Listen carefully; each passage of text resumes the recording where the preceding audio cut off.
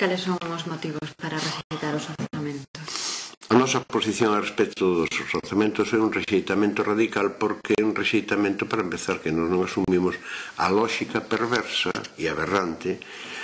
da estrategia orzamentaria que leva o Partido Popular dende que chegou a Xunta de Galicia no 2009 até agora. E esa lógica está todo o servicio do que se chama consolidación fiscal, que é a liña establecida polos poderes da Unión Europea, que consiste en que uh, esa consolidación fiscal por tanto, a austeridade, os recortes, etc., é para recuperar os marxes de manobra reducindo a débeda. Convírtese a reducción da débeda nun objetivo primordial e, naturalmente, eh, darlle esa prioridade de reducción da débeda o que fai é non resolver, non permitir que se recuperen as marxes de maniobra e afondar no rodopío infernal que eleva o conxunto da economía e da sociedade máis cara baixo cada vez porque eh, sin supón facer unha política orzamentaria que no canto de contrarrestar o ciclo descendente agrava e aumenta a velocidade dese descenso. E esa consolidación fiscal mmm, manifestase en tres corsés que nos decimos que son como unha máscara de ferro posta a,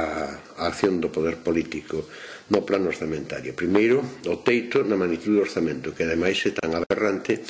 que si se fai un esforzo fiscal suplementario que dá lugar que os ingresos superen ese teito marcado por lei, por iniciativa deles mesmos, pois entón resulta que a ese esforzo adicional que os cidadáns de suministrar máis recursos no canto ir destinados a servizos aos cidadáns teñen que ir destinados a aumentar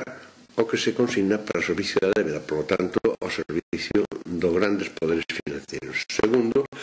tópido déficit orzamentario que permite utilizar os orzamentos como unha alavanca de política orzamentaria contracíclico. Por lo tanto, para incidir no circuito do produto da renda do gasto de maneira que se reactive a economía. Eh, eso só se pode facer mediante o manexo da débeda en condicións e do endevedamento en condicións mm, racionalmente establecidas con arreglo aos esquemas macroeconómicos. E en terceiro lugar, a prioridade do pago da débeda en si sí mesma que o que fai é eh, chegar a, a disparates como que nos orzamentos dos estes anos pois eh, a débeda acumulada polos gobernos do Partido Popular máis que se duplicou